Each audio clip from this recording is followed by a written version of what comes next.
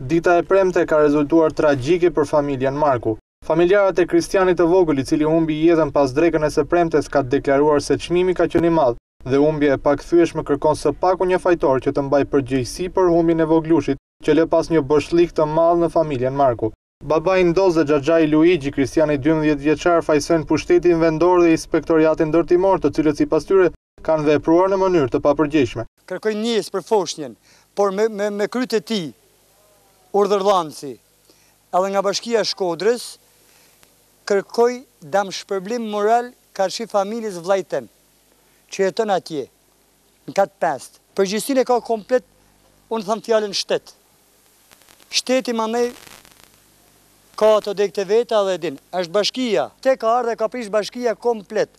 Vëllai i Kristianit nga ana tjetër ka treguar me detaje se ç'ndodhi ditën e mallkuar, duke deklaruar se fadroma ka ndërhyrë në objektin që bashkia pretendon se nuk e ka prekur. Pasditen e së premtes Bashkia Shkodër ka reaguar përmes një deklarate shpërndarë për mediat, duke pretenduar se objekti në fjalë nuk është prekur fare nga fadroma e bashkisë, por pamjet filmike flasin ndryshe, njëzëri edhe familjarët dhe banorët e zonës.